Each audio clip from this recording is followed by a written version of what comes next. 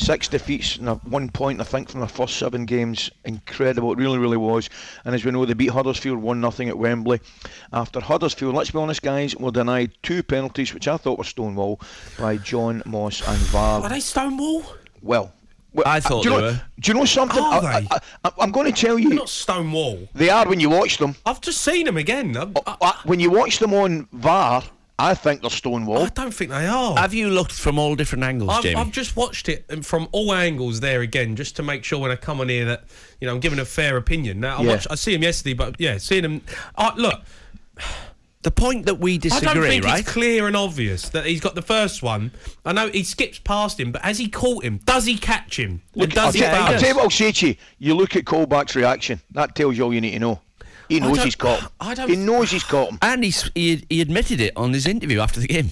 Did he? I said- didn't know yeah, that. That yeah. was- The first one's a penalty. Simple as. But penalty. Jamie, the point that me we are disagreeing, right, tells you, and we were professional footballers, tells you that because they've changed the rules that many times, Yeah. what is a penalty now? What is enough contact?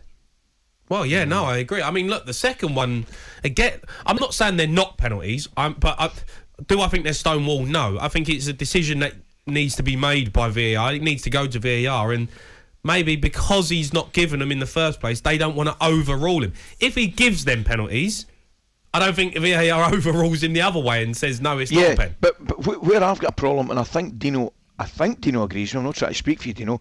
Where I, as soon as you go to VAR for the first one, right? Hmm.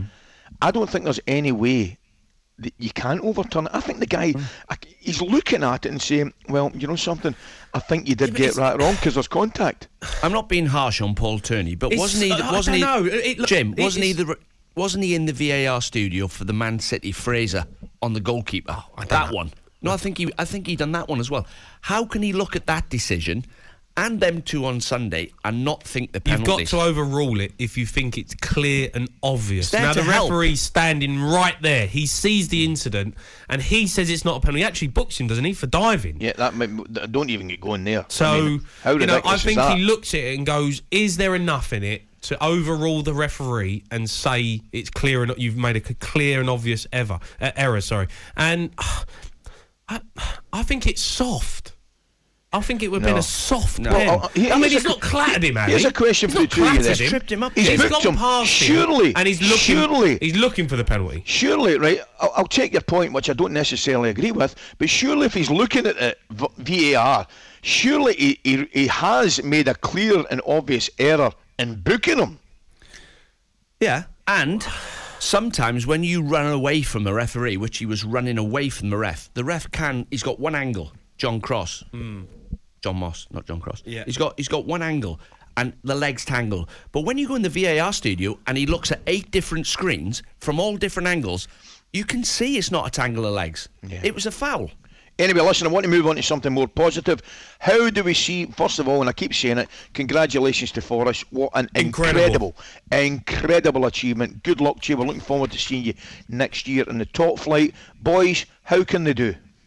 Or what do they need to do? Do they Um, need to make changes? As I say, we saw them a couple of times, particularly in the Cup. Three centre backs, Worrall and Cook and, and, and, and the big lad McKenna. Yeah. Did superb, Well, they, need to try, really well. they need to try and sign Jed Spence. Mm-hmm. I mean, because he was on loan from Middlesbrough, which is you know ridiculous.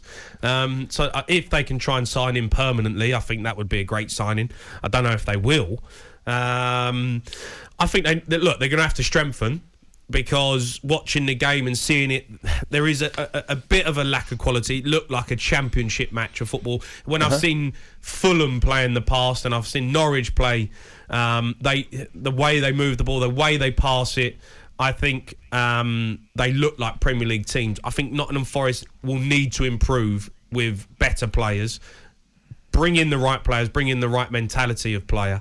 Um, but Steve Cooper, I mean, what an unbelievable job! They were they were Correct. bottom in September when they Correct. took over. I mean, he should be manager of the season. Why? Correct. Why is Jurgen Klopp getting manager of the season? Why doesn't Steve Cooper get it? The Uh, biggest job he's got now for me, Jamie, is you remember when Fulham got promoted? They won the champ. They won the championship and they flew up and they signed 16 players and diluted the team spirit. You remember? don't sign sixteen, You've got to be but careful. You, got, you sign four or five that are going to improve the starting eleven. Yeah, we've got to learn from that because you start like bringing a load of players in who've played at a higher level, you lose what they've got. Yeah, So that's yeah, but you're bringing four or five. Yeah, he's got to like. Uh, it's up to him. I mean, he knows You got what to bring in a goal obviously. scorer. You know, you, you needed a, a goal scorer, a Premier League goal scorer, because there's a massive difference between scoring goals in the Championship, scoring goals in the Premier League. Have they It's got a better- massive step up. Have they got a better chance of staying up than the two went off automatic? I think they have. It's momentum, and he's you given can't say belief. that. You can't say that. I mean, But because I- I can, I Fulham and just did. Bournemouth finished above them. I just You said can't it. say that. I mean, What? got, what, what? Because they've gone up, gone up in the playoff final, they're, they're Yeah. going to have a better chance Yeah, of I th- up. I think Brentford Fulham won the league. Yeah, but I think Brentford have gone up with that sort of uh, same momentum, and I think he's the the team beat Leicester, they beat Arsenal, they've beaten Premier League teams. They have. They have. It's not anyway, fluke. but- Talk Sport Breakfast, waking you up Monday to Friday morning from 6 a.m. on AM, on DAB, via the Talksport app, and on your smart speaker. Talk Sport.